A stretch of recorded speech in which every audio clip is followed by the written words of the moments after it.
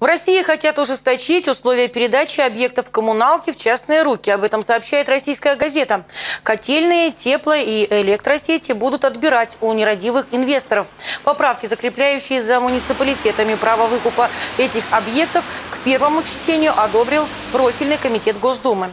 Что же касается водопровода и канализации, то контроль за ними даже после передачи в частные руки хотят оставить за государством.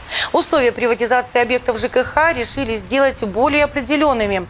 Если законопроект примут, собственник, предоставляя услуги потребителям, обязан будет придерживаться регулируемых тарифов, а также заниматься реконструкцией и модернизацией коммунальной инфраструктуры, которой он владеет.